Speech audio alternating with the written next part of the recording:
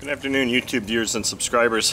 Today on the bench I've got a brand new, never seen fuel, never ever been run Magnum FS91AR engine. Now this is an engine I just recently did a uh, quick look at on on Sunday. Engine I got from eBay, was browsing eBay that day, happened to see this thing as a new listing, holy crap. Uh, super low price so I just jumped on it. Not like I needed this engine, but I did. So here are the things I have done and have not done to this engine. I have replaced the glow plug that came in it.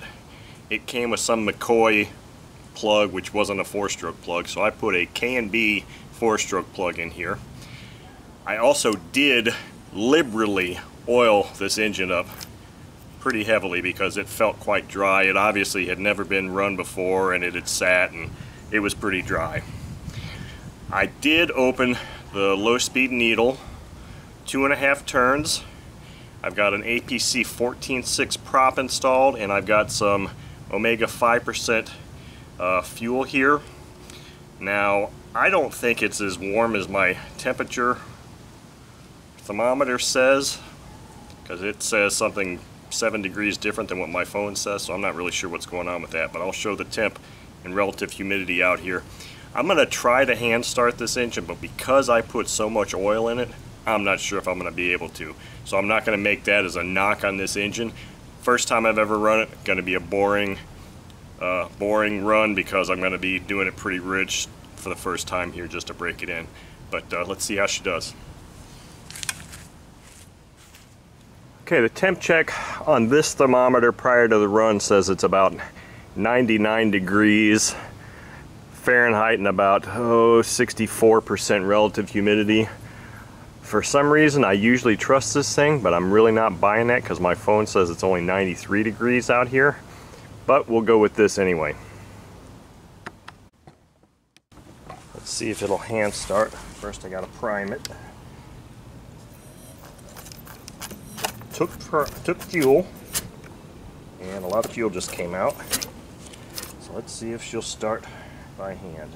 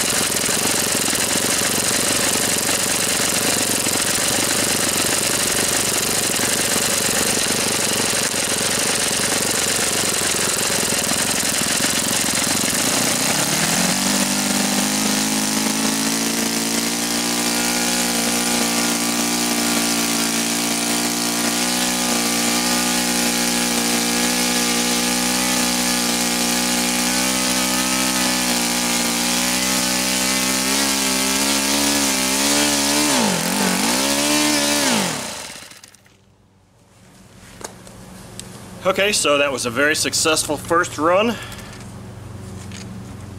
And it shut off perfectly.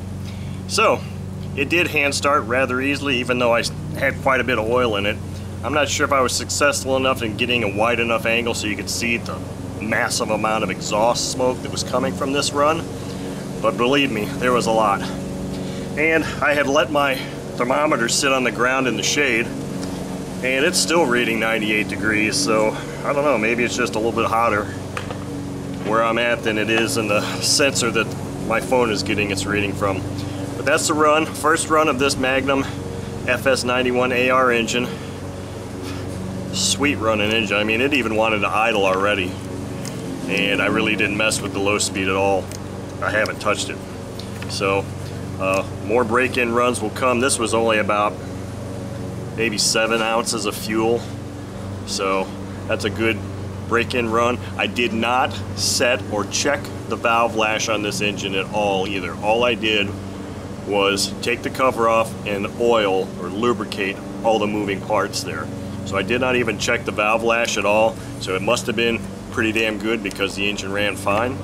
So nice engine for a nice price. Hope you enjoyed watching. Thank you very much.